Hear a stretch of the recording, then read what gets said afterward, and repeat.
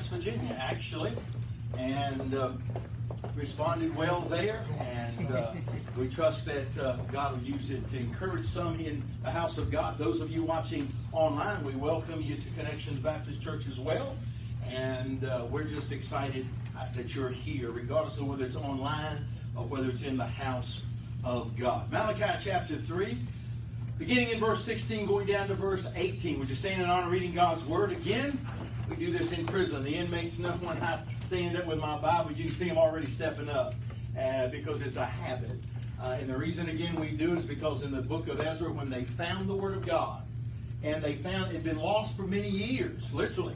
And when they found the manuscripts, the Bible says that Ezra stood up behind a pulpit and he read, that's all he did, read the Word of God. By the way, Check it out. Six hours. Six long hours. The average Christian don't even read their Bible in a week, six hours. So, having said that, they stood in their place. It says, and when the Word of God was opened, they stood up. I like that, don't you?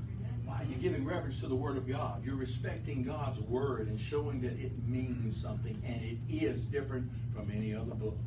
And thank God that it is. Malachi chapter 3, verse 16. And they that feared the Lord spake often one to another, and the Lord hearkened. In other words, He hears our conversations, especially when we're talking about Him with others. All right? Bragging about Him, bragging about Jesus. And the Lord hearkened and heard it, and a book of remembrance was written before him for them that feared the Lord and that thought upon his name. Can I ask you a question? How often in a day do you think about him? We think about other things. We think about what we got to do, our to-do list. We think about work. We think about family. We think about this, the weather. We think about what we're going to do tomorrow. How often in a day do you stop and just think? The word think is the word meditate. All right? uh, and just think on Him. Think about Him, who He is, what He's done for you. Man, God is so good. Amen. And as the inmates always say all the time, Amen. God is good. And they that feared the Lord and thought upon His name, and they shall be mine, saith the Lord of hosts, in that day when I make up my jewels.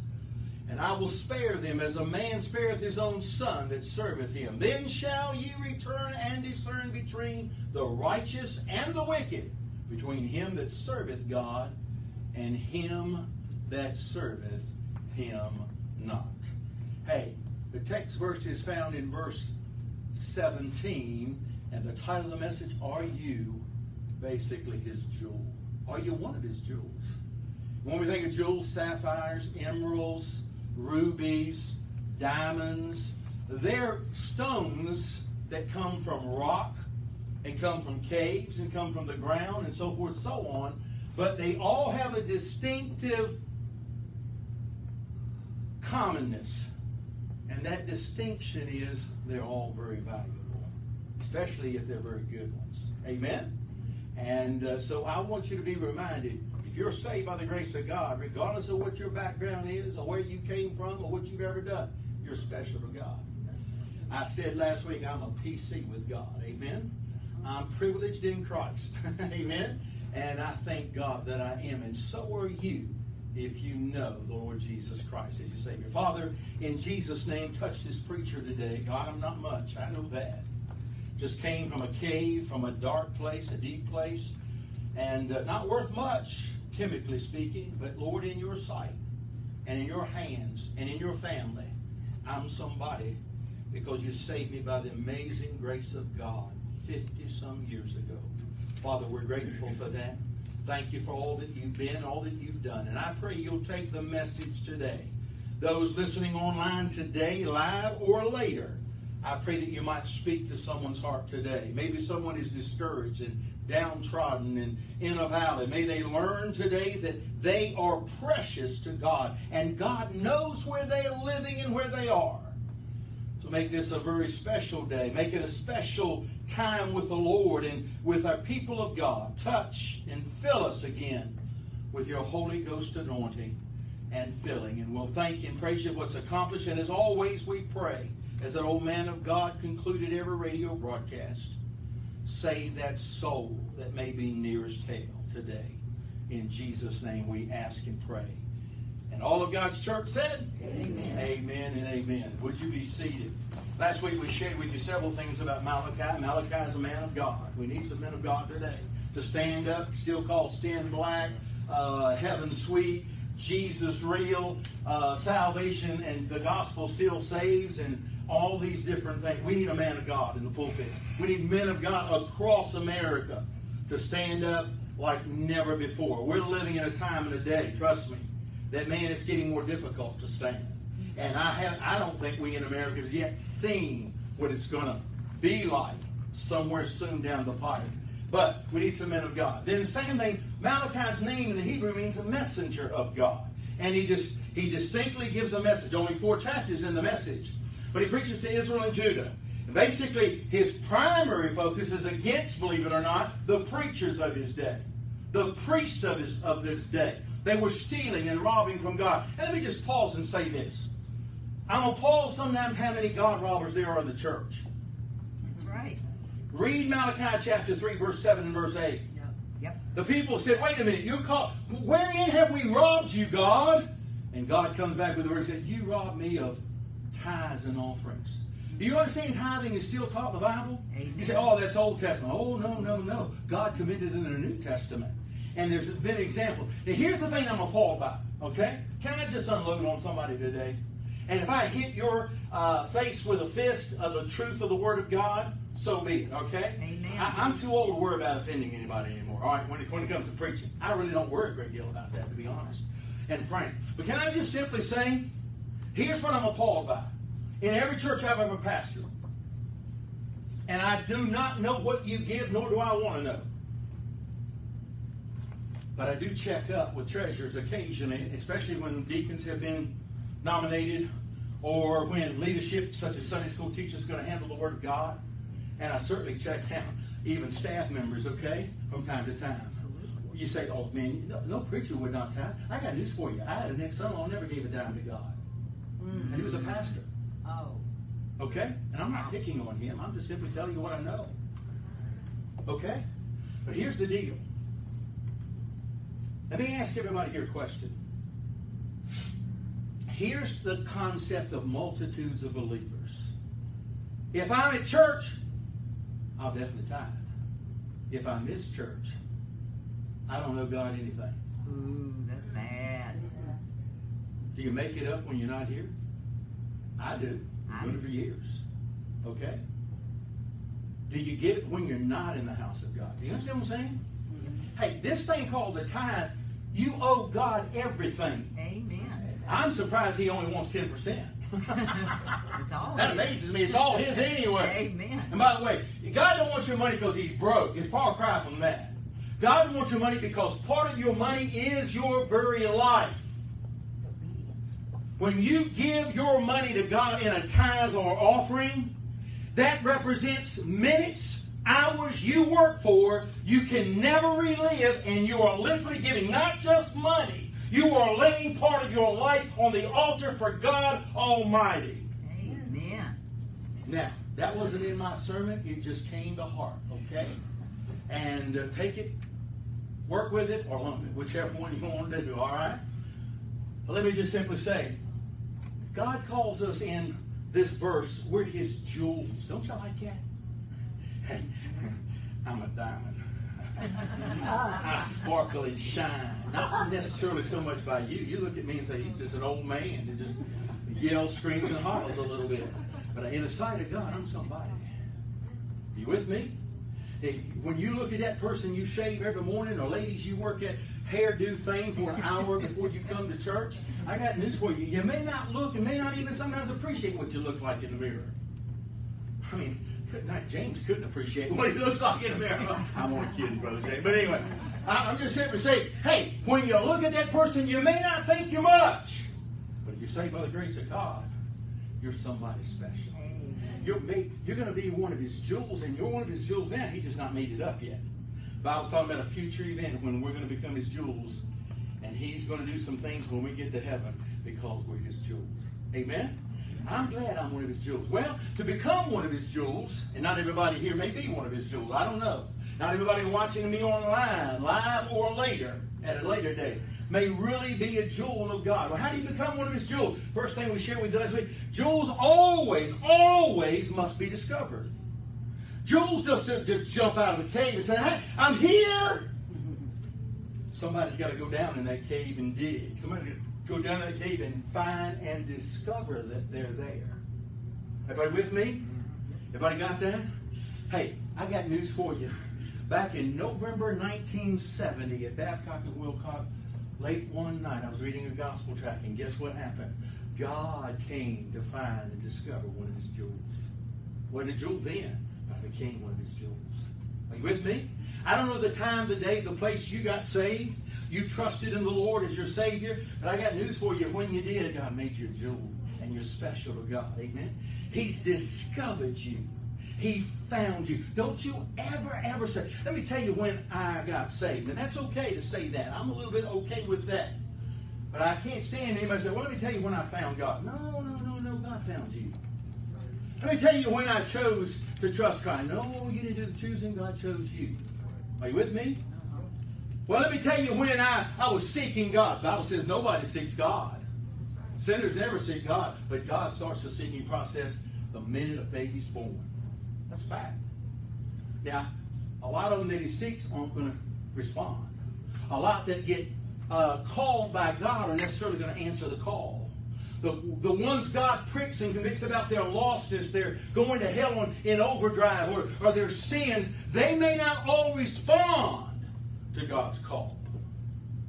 But thank God there's enough of us that do, and thank God those of us who do, we become one of His chosen jewels. Are you with me? And so thank God. Hey, are you aware? Diamonds, rubies, sapphires, emeralds can never, never find themselves. Think about it. And just like I said, they don't jump out of a cave. Hey, I'm here. Find me. No. Why? Because they all have the same problem. Jewels never find or never found by themselves, but it requires a gemologist. Okay? To know where to go, to know where they are, and then to find and discover them. Isn't that true of your life? That night I had no idea God was going to discover me at B&W. That God would come to me. I'd read track after track and had done work, done a thing for me so far other than I was interested. I believe the Bible is the Word of God because, man, I read the, uh, some of the Jack Van Impe sermons on the coming war with Russia and Ezekiel 37, 38. And by the way, let me just simply pause and say this. This globe is a powder keg getting ready to explode. Yep. You hear me? May not be in my lifetime. It's already exploding. Yep. But let me just simply say, I've never been able to say this publicly before, but I'll say it today. The alignment of all the nations in the final world war that will destroy everything by God Himself is perfectly today aligned. Yep. Read Ezekiel chapter 37 and 38. Okay? When you get to 38, you'll discover Russia's where she needs to be. Red China's where she needs to be. Turkey's where she needs to be. Ethiopia's where she is. She's being overrun by, uh, in, and the Sudan and a lot of African nations are going Islamic. There's nothing. I don't know of one prophecy got to be fulfilled for the trump of God to start sounding right now. Yeah. Shh, shh, shh. Do you hear that? Kate was just doing testing his trumpet. Are you with me? I believe that. I may get to see it in my lifetime, but if I don't, I still win. I'm going through the undertaker or the upper taker. And if, the, if you're a child of God, thank God when we get taken, we're going to make up some of his jewels. Amen? And amen. What about jewels? How, how they discovered? Number one, they discovered in the deep. They're discovered in the deep. They're in the ground.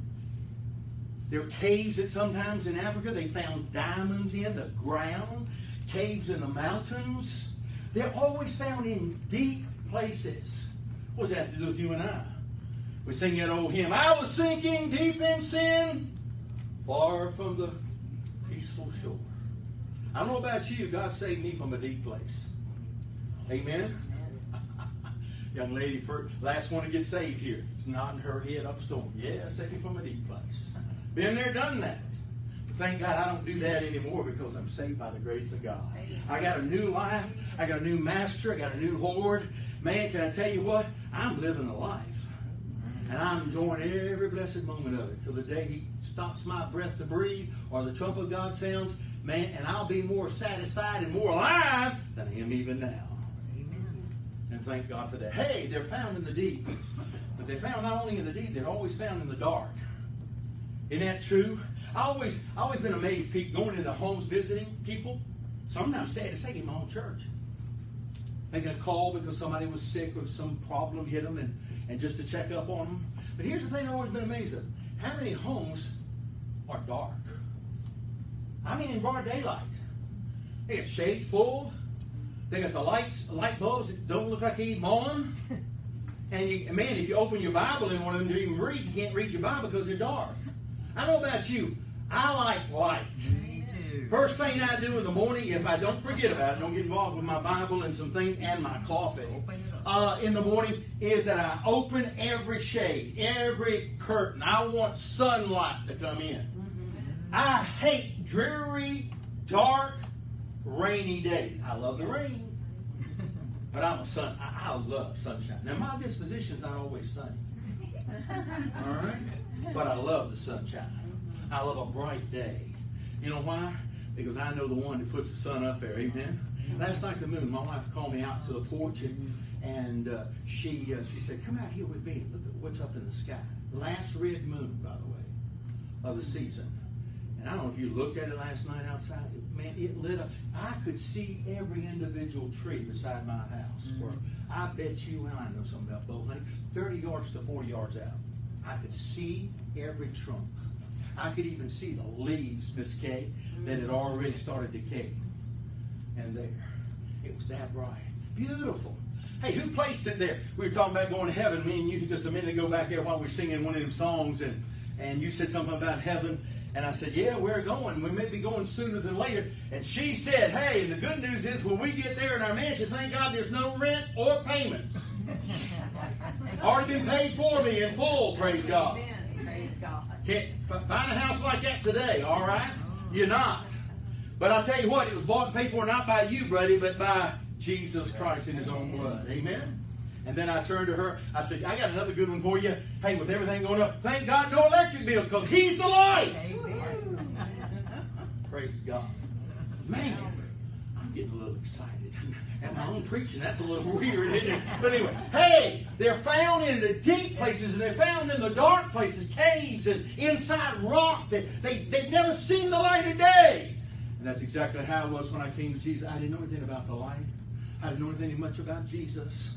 Just a bunch of head knowledge. But I'm telling you, that night when God took it from my head, moved it to my heart, God transformed my life. And I've never been the same since. That's been 52 years ago. And by the way, next month's my spiritual birthday. All right. Yeah, it's only 53. Yeah, because it's 23, isn't it? Yeah, Yeah. 70? Yeah. 53 years old. Good night. I never even thought I physically would ever make it to 53. But hey, they're in the deep. They're found in the dark. Let me ask everybody here a question. Have you been discovered yet? Been called yet? Been saved yet? Hey, I'm telling you, you need to be, you should be, you ought to be, because man, it's much later than you ever think. Okay, like the old farmer at the house, they had an old great grandfather clock. You remember those things? My aunt had one, and man, I'm telling you what, I'd sleep over there some nights, and man, you could hear that thing downstairs. Dong, dong, dong. And the farmer had one of them in the corner of his house, and they were sitting in the bed. And that thing started donging before they went off to sleep. And that thing donged and donged and donged. It was about 11 o'clock. It donged to 12 and 13 times and 14 times. and said, Hey, honey, we need to get up and get up now. It's later than it's ever been before. Listen to me. Hear me well. This globe doesn't even understand what's happening. But God's in charge. And I can prove that from my Bible today if you want to see me after the service. Let me tell you something. Jesus could come this week. Shucks, he can come today. Yeah. Amen. There's ducks on a pond like we've never seen before. But anyway, hey, they're found dark. I had planned on staying, staying on that point, but I sort of like that. Look at what Job says about the darkness. They grope in the dark without light. He's talking about sinners. You know, the people that's unredeemed, unsaved by the grace of God. And he maketh them to stagger like a drunken man. What does he mean? He means an unsaved sinner doesn't see anything coming. Sad to say, some church members don't see it coming. Our church saved people don't see it coming. But there's some things happen. But man, can I tell you what? I'm glad I'm no longer like like this guy in the dark. I'm living in the light. I came to the light when I got Jesus Christ as my Savior. Isaiah 29 says, Woe unto them that seek deep to hide their counsel from the Lord. Notice deep. Are you with me? And their works are in the what? Hey, can I just tell you not to say it's not it's totally true today because we have so much shipping and everything. Hey, thieves prefer Dark. to steal in dark. I'm not saying they don't steal in light today. You get a package, man. Good night. They just arrested somebody. I think it was down in Texas. I read the story about. Come across my my emails and so forth. Man, he- man, they were a gang, mm-hmm. and they they were following the trucks and just picking up the the, the all of the loot, thousands and thousands of dollars a day. They were taking in. Mm-hmm. Why? Because they're doing it in the daylight. But generally speaking, thieves prefer the dark. Why? They don't want to be seen. They don't want any chance of a camera or anything. Now we got cameras. A little bit different day we live in. Okay. So, can I tell you what? Aren't you glad he found you? I wasn't looking for him, but he came looking for me. I wasn't seeking him, but he sought me. I wasn't loving him, but he still loved me. Amen.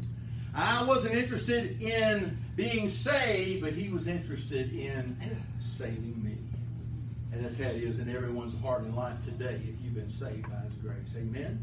But let me give you a second point. Not only are they discovered to become a jewel, but they also got to be dislodged. What do I mean dislodged? You know what the word means, don't you? They got to be separated from something. In other words, a diamond in the rough. Oh, I forgot to put that slide last night in I had last weekend. Oh, I was going to show y'all what a diamond in the rough. And I'm telling you, if I showed you the slide, and by the way, this piece of rock is loaded with diamonds, valuable size ones, okay? Mm. According to what was online. And I'm telling you, if you saw the piece of lo- rock, you would never know they were diamonds. Mm. Can I tell you why? Cause because diamonds, for them to become valuable, got to be dislodged. They were valueless there, in the dark, still in the deep, just like we were as sinners before we came to Christ. Are you with me? And so something had to happen. We need it to be not only discovered, but when you get discovered, you got to be dislodged from some things. Therefore, if any man be in Christ, he's a what? New creature. Old things will pass away. All things become brand new. Well, that's my testimony. I didn't like coming to church, but after I got saved, Pete, I, I couldn't. I didn't want to miss church. I didn't know nothing about the Bible, but all of a sudden I started reading and I started discovering, hey man, this is a love letter personally to me. And I fell in love with the Word of God. Didn't pray much except 911, oh God, help me, I need this. But all of a sudden I learned I could talk to God on a daily basis, anytime, any place, any hour. Amen? All things become new to me. I was in tune with God. The old truck driver used to say, Got your ears on? I mean, can you talk to me? I'm listening. Can you talk to me? And God, I'm sometimes wondering how many Christians He says, even in a day, Hey, you got your I got my ears on. Are you are you willing to talk to me? Are you willing to pray to me? Are you willing to ask me? Are you willing to praise me? Are you willing to thank me? We do so little praying. All of us must be dislodged. What does that mean? Every stone, I don't care what your name, I don't care what valuable stone, emerald, rubies, sapphires, I'm not naming them all, uh, diamonds, all when they are original in their natural state are in the rough, they call it. Okay? Can I tell you what that means? You can't hardly tell that that's what they are. A gem- gemologist, gemologist does know. He sees it. He can see it just like that. You and I's eye, we can't. Did you know the Bible talks about the church is going to be filled with wheat and tares? Okay, Jesus said. You know what tare is? Are, are you aware of this? And I didn't mean to say this. I'm just going. I'm feeling good. But anyway, a tare is an unsaved person that's in the church. By the way, the churches are full of them. Okay? Plenty of them outside the church, of course. But a tare is someone that looks good, sounds good, uh, may may even think, and even the church and preach, oh man, oh he gives and he does this. Hey, they can be a Sunday school teacher or a deacon. Shucks, let me take go further. They can even be a preacher. That's right. That's right. According to my Bible. Amen. In that day they will say to me, when Lord, Lord, have we not prophesied? Have we not preached? Have we not lived for God? Have we not been in the church? Have we not served the church? Have we not done many mighty works? And on and on it goes. And Jesus Christ will say to them, Depart from me into hell. I never knew you. One of the most saddest verses in all the Bible. Think about that. So I'm just simply saying there's tares with the wheat. And let me tell you something. I studied it years ago. Why is that there? Wheat is us, truly born again believers. But here's the reason for the tares there. And this is the reason we don't know who the tares are. We don't. Occasionally they show their disposition and they tear in, they tear up, and they tear out. Are you with me? But a tare is someone unsaved. Listen to this. You and I can go through a wheat field all day long and you'll never know what a tare is. Never. I tell you why? Because a tare has almost every single, we'll call it ingredient or feature or characteristic that wheat does. Listen to this. The only one that immediately can see a tare is that wheat farmer. Yep. As God Almighty today looks in this congregation, He knows every one of you that He is. That's right. Amen. Amen. Hey, when you think about being dislodged, I don't know about you. This is how my, my life was lived, and all of us, to a certain degree, was bound by sin. But you got to understand three immediate things about being dislodged. Number one, every stone, every stone, regardless of where it's located, what continent, what cave, what hole in the ground, every gem or every jewel not only must be discovered, but must be always dislodged. What does it mean? It means all stones of value are bound. You got that yet? You got it sunk in yet? I don't know about you. I was bound to my drinking. I was bound to my parties. I was bound to my women. I was bound to my wicked ways. I was bound in sin. Were you? You say, well, I want that bad. You probably might, might have been even worse because now you're lying. But anyway, can I simply tell you? We're all bound. Bound by sin, bound by the world, bound by the devil, bound by our own flesh. I didn't know how to conquer my flesh until I met Jesus Christ. My flesh wanted to do everything and have a party time all the time and do this and do that. I got to tell you what, when I met Jesus Christ, He came in me, and there's somebody greater in me now that can control this old Adamic nature when I yield to Him and surrender to Him. Amen? Y'all ain't shouting much today. I tell you what. There's a problem with all gems and jewels. They're all bound. They're enslaved to it, their natural state, and they're bound in their natural place. So the gemologist, like Jesus, knows where they are, comes to where they are, and frees them. Amen. Diamond in the rough's not any good to anybody. Not even valuable. You know that? You take the uh, the Hope Diamond. Good night. I, I hid this in the sermon over in West Virginia. Forget I didn't put it in this one. But uh, the Hope Diamond, worth multi-millions, is in Washington D.C. Okay. The Hope Diamond was totally valueless in its original state. It Wasn't worth a thing. Why? Because you got to be found before you become valuable. Yes. Yep. With me? I don't know about you, I got found. Mm-hmm. Wasn't valuable back then. Partying, living like the devil, living in sin, bound by Satan, sin, the world, the flesh. But I'm glad that when Jesus, when Jesus saved me, I am so grateful. See, I'm getting so excited I can't even hold anything. Hey, when Jesus saved me, can I tell you what? Those old chains that were binding me, He cut them. My wife will remember this. Remember Hugh Brown in uh, Greensville? They sung that break song. Remember that? Those guys get all excited. And man, they'd, they'd sing out, bellow that song out. Uh, that, that Jesus can break any chain. He did for me. He broke the drinking, the partying, the godless kind of way I used to live. And thank God he gave me a life worth living, to be honest with you. I'm on a spiritual high that man don't need drugs and don't need drink. That's Yeah. Because I've been drinking from the well ever since 52 years ago, soon to be 53 years ago. I got saved and met Jesus. I am 100% a satisfied customer of Jesus Christ. Yes. Okay? I feel sorry for people who don't get where I get, where I am. I really do. I'm enjoying Jesus. I'm enjoying my heavenly journey. And I have been for 50 some years. Hey, you got to understand, next year, God willing, I will be in ministry 50 years. Wow. Ministry, started 1973. Okay? Not pastor, ministry. But I'll soon celebrate 48 years of pastor. Okay? Well, no, I've already passed 40. Next one, 49. So I'm just simply saying, God's taught me a whole lot, and yet I'm still like a little baby in kindergarten most of the time when I read the Bible. But can I just simply tell you, I had a problem before I got saved. And aren't you glad Jesus is the problem solver? And thank God he solved, solved my problems immediately when he saved me. Amen? Anybody here ever have addictions? I was watching a documentary several good night months ago, came across and I was interested in it because it was showing these pictures of druggies and everything on the streets all across America. And they, they, talked about the drug addicts and the heroin users, the cocaine, you name it. They just went through the whole gambit. But I, I, I love my body too much to stick it with a needle.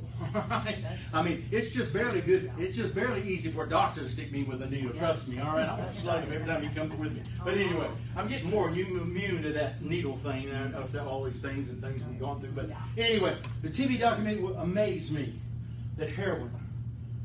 They interviewed people and heroin users because they, their veins will collapse.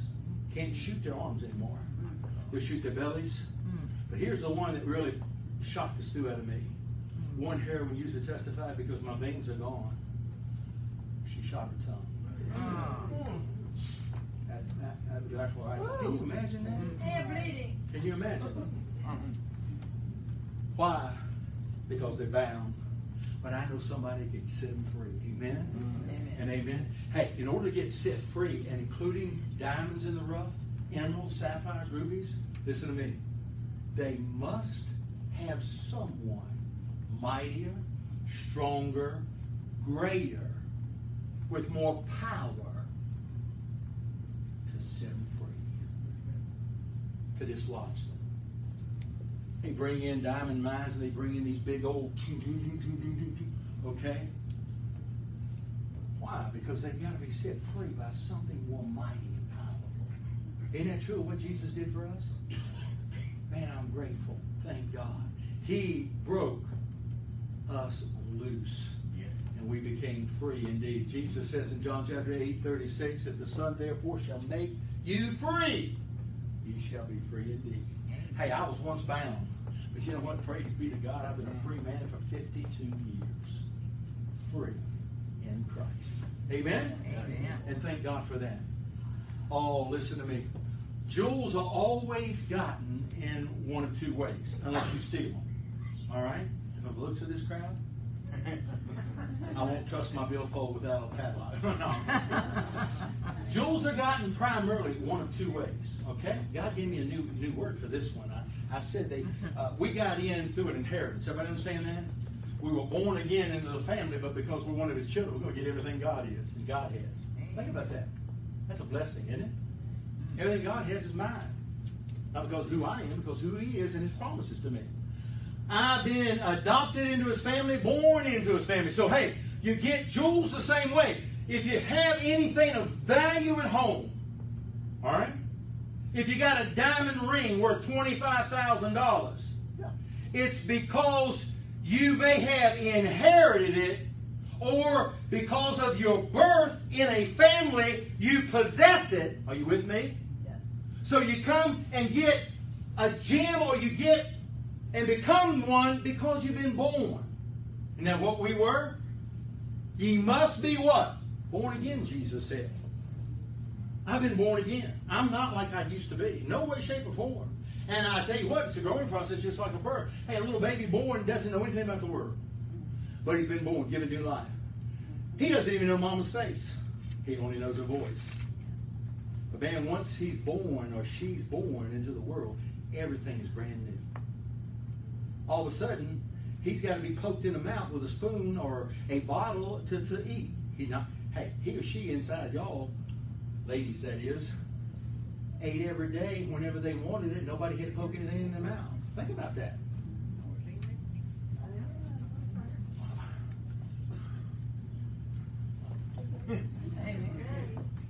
I'm just going to leave and go home. but, but we're born into the family of God. By birth, people possess great valuable jewels, diamonds, and on and on. So by birth, First Peter chapter 1, verse 4 and 5, we have an inheritance that is incorruptible. Oh, by the way, always going to say in that verse, I don't, I don't need to read it.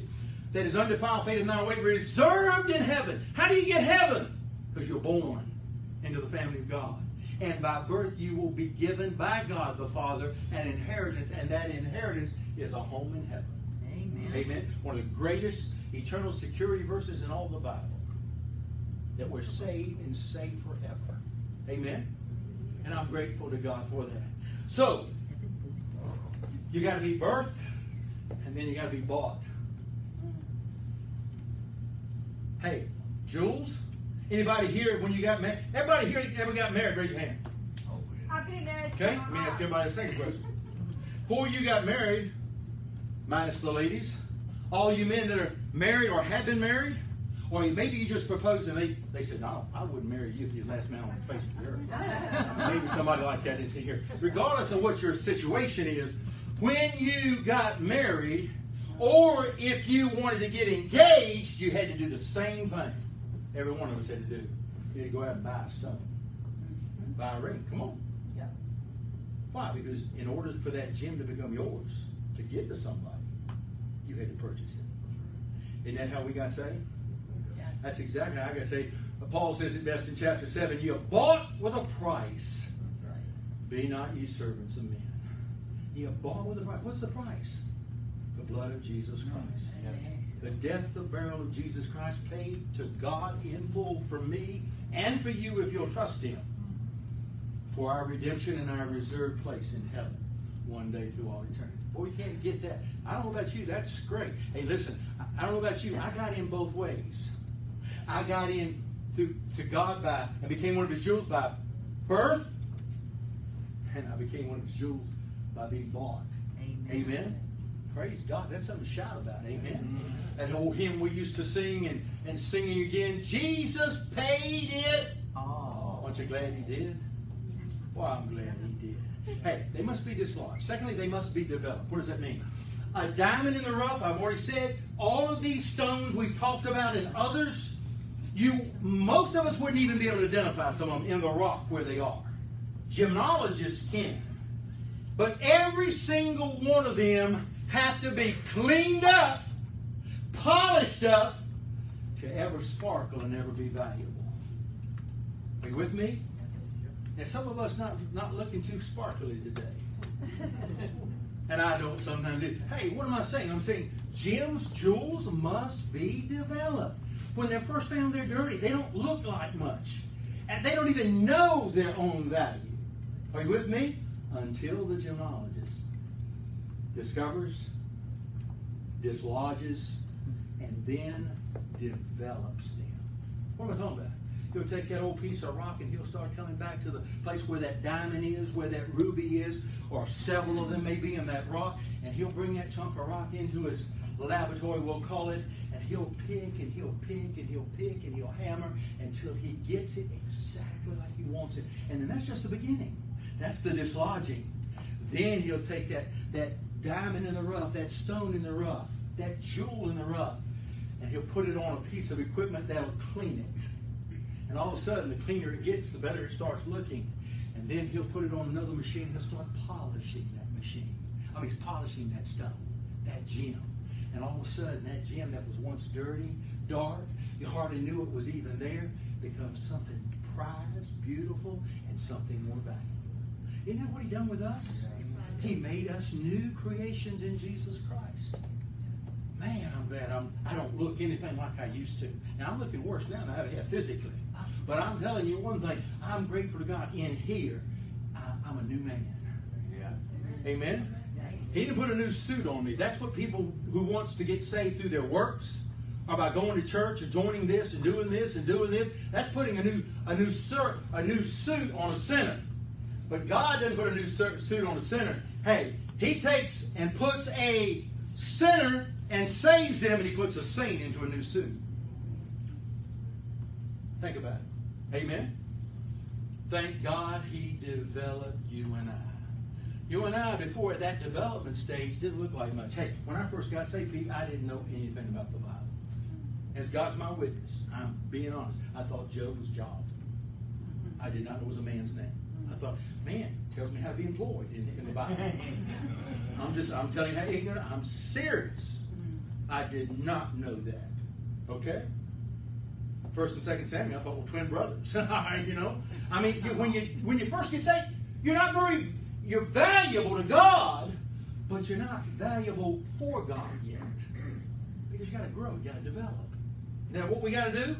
We got to come to the place and the point where in the Bible, in church, uh, frequently, and studying the Word together, and learning and learning and growing and growing and growing, He's developing us to be more used by Him and valuable for Him. Now, you're valuable to Him the minute you get saved, but you become more valuable for Him as God begins working, moving, changing our hearts and our. Hey, we're not much to look look at. As diamonds in the rough, or right after we first get saved. All right, think about it. Willis don't look like much, but I remember when Willis trusted Christ. All right. I remember when God made him a diamond in the rough and then started polishing and shining and making him better than he used to be. Are you with me? Yes. I still remember when you got saved and then you told me your sword story of what you had done prior to your conversion and coming to Christ. And I visited him. You mind if I tell him? Go right ahead. I visited him in prison. He went to Tazewell. And uh, hey, you want to show me how? You, you want me to tell you how dumb he was? Listen to this one. Because he was going away for some years. Okay, and it's true. He came to me one day. He said, "Pastor, I need to talk to you about something." I said, "What's that?" He said, "I want you to do. I want you to do something for me." I said, "What's that?" He said, "I want you to pay my bills while I'm in prison." He trusted this preacher with his money. Man, I'm sorry I didn't go to the Bahamas on it. and I paid his bills the whole time he was. And I, sh- I would show him and I asked him, you need to see all the financial statements, checkbook, whatever? It's there. I almost didn't do it because I am funny about handling money. Mm-hmm. Church money especially, okay? But I didn't care if I spent his money. His money. Are you with me? Yes. We're not much. Mm-hmm. All but by the grace of God, when the touch of God discovers us Amen. and we get saved, thank God we become diamonds polished, sparkly, and beautiful. Heard a story about a girl that got married, hadn't hadn't been back to town for a long time since she left town, and her friend met her on the street and said, "Wow, hadn't seen you since graduation, man. What's up?" She said, "I got married." She said, "Well, that's good." She said, Well, not so good. He died. oh, I'm sorry to hear that. That's bad. I said, Oh, well, not really. Not so bad. Uh, he's, he's rich. Ooh, that's good. I said, Well, not so good. He's tight. I said, Man, that's bad. I said, Well, not really. Even though he's tight, he built for me a mansion. I said, Wow, that's good. I said, Well, not so good. It caught on fire and burned to the ground. So that's bad. I said, well, not really. He was in the mansion. Amen and amen. So sometimes we don't always know those diamonds in the rough. Amen. The only one that knows the value of the gem is the gemologist. Are you with me? John chapter 10, verse 27. Jesus said, My sheep hear my voice. Listen to what he says. And I, what does it say? No. He knows me. He knows you, I think. Amen? Thank God. Hey, let me give you the last point. All valuable gems and jewels must be defended. You say, what are you talking about? A little bit like the lady came out of Walmart. This is a true story, by the way. This actually happened. Can't remember the state. A lady came out of Walmart and she saw men getting in her car. And she happened to be a carrier. And so she reached in her purse after pushing the cart toward her car, pulled out a 38, said, Get out of my car now! Mm. Thought they were stealing. So, man, those are, yes, ma'am, yes, ma'am. and they walked away. And, man, while she was putting her groceries in the car, while she was just getting ready to leave, a cop car came in and blocked her in. And she was called out of the car to come out and to leave her purse there and be unarmed. I mean, it was a real story. And so she got out of the car with nothing in her hands. And she says, Sir, what are you, what are you doing? Why, why, why in the world? Said, Well, I want you to know that's not your car. she hadn't started the motor yet. And, uh, man, can you imagine such a situation? All right? But hey, I got news for you. She was defending what she thought was hers. You with me? Valuable diamonds aren't left out somewhere. Another true story, literally does. It happened. A lady was given a $20,000 ring, value. Okay? By her husband. And she just sit it down, I guess maybe in the kitchen or wherever she put placed it. All of a sudden, she lost that $20,000 ring. This is many years ago, by the way, the story happened. So today, probably 50,000 or more. Very, very bunch of rocks and, and, uh, and carats and so forth and so on. I gave my wife a carrot just the other day. Amen amen. But can I just simply tell you, valuable. And she just left it somewhere. She took it all. Know what for. But she couldn't find it anywhere in the. Husband looked for it. Family helped her look for it. Couldn't find anything. Her little four-year-old looked at Mama, saw, you know, looked, looked at her and could tell she was concerned and, and distraught. Said, "Mama, what in the world wrong with you?" So I'm looking for my diamond. He said, "You mean to tell me that little thing, a ring, with a little stone on top of it?" And she said, "Yeah." She said, "Have you seen it?" He said, "Yeah." Uh-huh. He said, "Can I ask you a question?" She said, "Do you know where it is?" He said, "Yeah." And she thought, "Man, hot dog, wonderful." Mm-hmm. Great. I got my mm-hmm. twenty thousand dollar ring back. Can you tell me where it is? Somewhere thrown out in the woods. Oh no. Oh. She said, What? Why'd you do that? Said, you remember that day you made me mad? Can I tell you, even before that ever happened, I'd have got twenty thousand dollars of rear end. Everybody with me? Me too. Wouldn't you? Little brat. Now listen to me. All jewels must be defended. Listen to what Paul Paul says. I mean, excuse me, Peter says in 1 Peter chapter verse 4, verse 5. The inheritance is heaven. It's a reservation made for us the moment you trust by faith Jesus Christ. Look at the next promise in verse 5. Who are, what's the word, church? Kept. Kept. Now, you don't see this unless you dig into the Greek. And I'm not a Greek scholar. But that word kept means more than you think it does. It means to be guarded, defended, protected. But the word comes from a military Greek word which means the top of the top of the top of the Roman legionnaires. There were Rome's officers and soldiers were divided in three different groups. All right?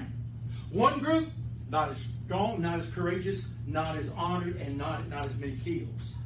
But as you progressed in the Roman military, you could become part of the legionnaires. That's what that word means, but it means even better than that. It means taken from the legionnaires to become the Praetorian Guard. You say, what's that? Never read about that. Read it. You'll find out about it. Check it up online today. Only the elite of the elite of the elite of all of the Roman soldiers would ever be trusted as a Praetorian Guard. Why? Because Nero or any other emperor depended on their very lives to be guarded by the Praetorian Guard. Come. Ain't nobody got to shout there when you think about God and what He's done, what He's saying to you and I. He has kept me for 52 years. He's kept me secure, sure, safe. I cannot lose it. Amen. Why? Because God, the same one that saved me, the same one that secures me. Same one that, thank God, makes me safe. until I get home. Amen? And the same is true with you. You've been saved by the grace of God. Hey, I got news for you. This gym can't be stolen by anybody else. This gym can't be ripped off by anybody else. This gym can't be taken by anybody else or hijacked as things are today. Why? Because I'm safe, I'm secure, I'm kept by Him. Amen. Are you with me? Yes. Praise God. You're looking at somebody, I'm kept. Amen and amen and amen. Thank God for that. See, the problem, guard, uh, precious, valuable gems must always be guarded. Let me give you the last one. We got to go home. All gems are discovered for one reason to be displayed. Think about it. Diamond and cave can't be displayed. It's still enslaved. It's bound. Are you with me? When you give your wife a diamond, okay, regardless of the size, you give that to her. Does she take it and put it in her drawer and say, "Well, thank you, honey. I appreciate that," and, and never wear it? No. They wear it. Why? Because diamonds are meant, precious stones are meant to do what? Be displayed. Anybody here ever go to a jewelry store? You have, haven't you? Okay. I was down there before.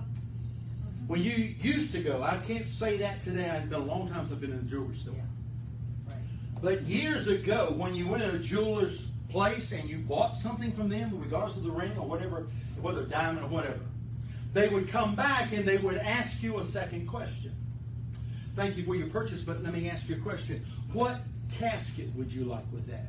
Hmm. Okay? Yeah, don't tell me y'all didn't know that. Man, I'm teaching you all kinds of good things today. That little box that that diamond is placed in is called by all jewelers, at least it used to be, a casket. Hey, let me just quickly say, do you not know when you choose that casket, it's got nothing to do with the burial? It's all about you, and it's all about displaying a dead body for those who's going to come. That's true. I'm not trying to be unkind. I'm not. I bought the best I could afford for my mom. Okay? Wasn't the best by no means. And I got a bargain when, when, when she passed away. God worked out some great miracles for me then. But I'm just simply telling you, friend, that casket, that body, when they raise that lid and they have family, what are they doing? They're displaying them. We may not think of it that way. But that's exactly what we're doing. Displaying someone dead. And I've said this before and I'll say it again. If Jesus doesn't come before I die and I die, and any of you at my funeral and you dare come by my casket and say, Doesn't he look good? I'm going to come back to haunt you. God have mercy if a dead person looks better than they did when they were sick. God have mercy. Or when they when they were living, had blood flowing through their bodies. They must be displayed. Are you aware that's exactly what Malachi chapter 3 is talking about? Mm. In that day, God says, when I make up my jewels. What day? Are you with me? Whether you believe this or not, or understand this or not, if you've been saved by God's grace, by the Lord Jesus Christ's death, burial, and resurrection, you are going one day to be displayed by God. Hmm. I told you you're special. What does that mean? You are trophies of God's amazing grace. Yeah. Amen. You're somebody. And thank God. The Christmas was the Christmas when I was in the seventh grade. I'm closing with this. We just moved into Greenwood Drive residency that Dad and others had built. And uh, first Christmas in that home, they came to me as they all, as parents do. Hey, do you have any idea what you like for Christmas? I threw several things out. But when I woke up that Christmas morning, there being seventh grade, you don't have toys and things like that. Unless it's a pool table or something cool. But anyway. Uh, but when I got up that morning, we, we had breakfast as we always did. Always oyster soup, okay? I say soup because I didn't eat them nasty oysters. I, I just like the soup and crackers. But but uh, that's all. That was the tradition every Christmas morning. And then and only then did, did we go in and scatter the gifts or whatever. You know, mom get I, my gift to mom, my gift to dad, so forth, so on. And when I got up under the tree, there was a little small box sitting up under that tree, and I thought, man, I had no idea. I had not asked anything that small. When I asked for something, I want big stuff. But that little thing sitting there, And so we, we, we, we open up, you know, you get pants and shirts and that, you know, it's a time, but then we give you school clothes for free. Because they, they're killing two birds with one stone. You gotta get school clothes anyway, so why not use Christmas to do it? Amen? Absolutely. Not in the middle of the year, not doing any other time, just do it, load them down during Christmas and you don't have to buy anything else the rest of the year. And that's what my parents did. And I saved that last little box. I thought, ain't much in that. Maybe, maybe, my, maybe my dad put a hundred bucks in it. you know, whatever. Open that little box. And just a little, and it was velvet. And I thought, well, I know what this is. This is a jewelry box. I ain't never asked for anything jewelry. And then I popped that thing open, and man, under the glare of even the up, uh, uh, the uh, the top lighting, it was just shining a glow. It was my birthstone ring. Didn't ask for it. But oh, how special it was. They gave me something I didn't want, didn't ask for. And I wore that thing until almost probably close to college. And then, you know, your fingers get fat and other such things that you couldn't wear it anymore. And I may even have that ring somewhere, I'm not sure. But my birthstone ring. But oh, looking at it inside that casket, when I flipped the box, that jewel shined brightly. Now listen to me well. Everyone in this room is going to die if Jesus tarries, if Jesus doesn't come. When you die, you don't see it, but it's going to happen immediately. You die here, but man, no sooner that last breath is breathed here, you immediately go before God. Mm-hmm. And when you go before God, hey, you're in that casket. You're in a casket here, that's bodily. But before that body and even put into a casket here, there's another casket that opens up there. And you will be displayed for all eternity as one of the choice trophies of God's gospel and God's grace. Amen? Amen. I don't know about you, that would make a Presbyterian shout and run around the, the building. But I should have known better than the crowd we brought. Anyway, I'm one day going to be displayed to all eternity. And so are you. Every head bowed, every eye closed. Head bowed, eyes closed, don't look around. Can I ask a quick, quick, quick question? And that is simply this. In this room, how many in this room can say, I know, preacher, that I know, that I know, that I know, that if I died, I'm going to heaven, I'm one of his jewels, I've had a day, a time, and a place. I know that I know I've trusted and received Jesus Christ as my Savior. And you're unashamed and you're grateful to God for it. Would you raise your hand real high all over the building? I know that I know that I know. God bless you. God bless you. God bless you. Amen. You can put your hands down. Could I ask a second quick question, both online and in here? If there's one that did not raise your hand, you couldn't say that you know that you know that you know that. But you look at your life and it's been a wreck. Look at your life and you think of where you are and where, you could have been had something better happened to you long ago. I got good news for you. Don't care where you come from. Don't care where you've been. Willis is an example of that. Inmates every week I preach to examples of that. But God can take the worst of the worst, change it into something valuable, precious, special to Him as well as even to others. Would you like to have that new life we've talked about, we've preached about? Would you like to become one of His jewels today, my friend? You can online. If you're watching this online, do you know that you know you're a jewel? Do you know that you're one of His chosen? Do you know you're one in His family? You've been birthed. You've been bought by the blood of Jesus Christ. I can't ask online, but I can ask here. Would there be someone in this auditorium today that could say with a raised hand, Preacher, I register with exactly what you preached about and what you talked about today. And God spoke into my heart just today. I recognize I need a change. I need a new heart, a new life. I need to be saved, preacher. I need that change you talked about in my heart, and my life. Preacher, today, would you pray for me before we leave? And you think about this online as you watch online. But if there's someone in this room today with a raised hand can say, Preacher, that's me. Pray for me, preacher. I'm not saved. Don't know for sure that if I died, I'd go to heaven. I'd like to know. I'd like to be certain. I'd like to be sure. Pray for me today. Anybody like that at all in this auditorium? Just put it up real high, put it right back down before we close in prayer. Anybody? Second ones I want to turn to is those looking online. Would you trust Christ today? Would you become one of his jewels today? You say, Preacher, I know I'm a sinner. I know I'm in need of Christ. I'm in need of a changed heart, a changed life. Preacher, today, would you?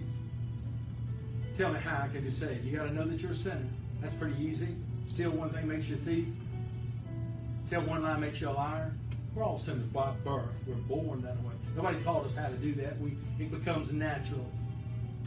But the good thing is, in that natural state, you're going to go to hell. But the good news is, in that natural state, God, the gemologist, can discover you today through His Son Jesus Christ. All have sinned and come short of the glory of God. No brainer. None doeth good, no, not one. Romans 3. But the next thing you need to understand is God says, But God commendeth his love, demonstrated love while we were yet sinners. Christ died for us. Aren't you grateful Jesus died for you? He died to save you. He died so that your sin debt could be paid uh, toward God, so that God could allow you to his heaven. He became your sin who knew no sin. And you've got to understand his death, burial, and resurrection is all God demands for you to be saved. He loved you that much. He paid it for your way to go to heaven. All you got to do is receive it, trust it, believe it.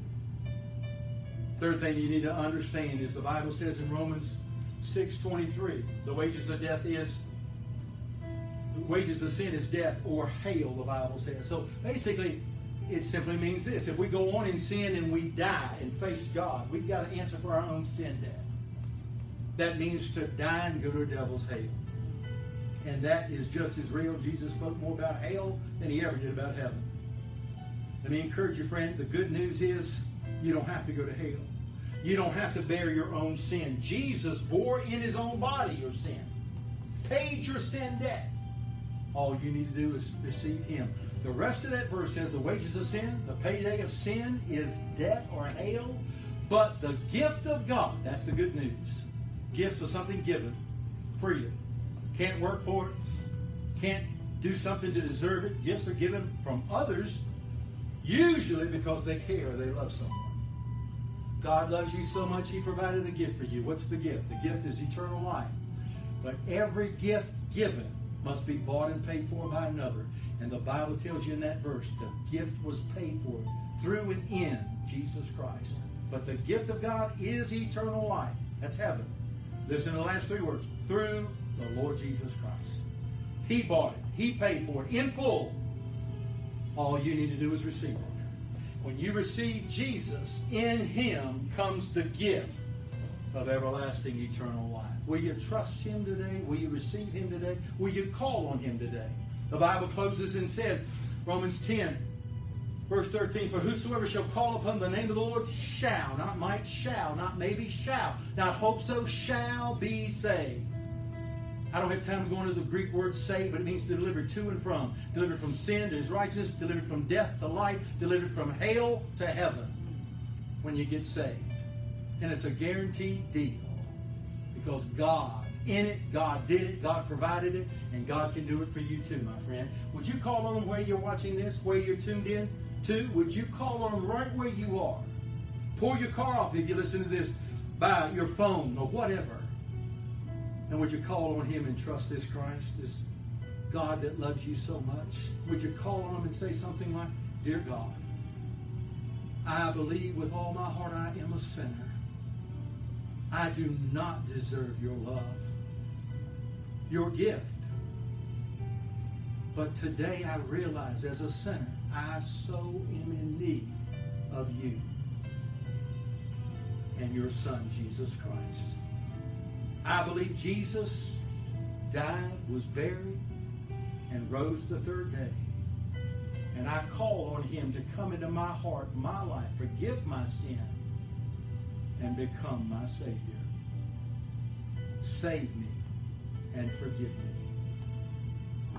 Now help me this day to begin letting him live his life in me and through me in Jesus' name. You prayed that, you write us, contact us, we'll give you the same thing we give the inmates in prison, and that is a booklet hitting the mark. We'd love to know you trusted Christ. Contact us, let us know, and we'll rush that booklet straight to you about uh, 10, 12 pages. Fairly large print. Bible verses there, stories there, illustrations there, truth is there, and it'll jumpstart your newfound faith in Jesus Christ. Right for today, we'll take care of it. We'll send it postage free.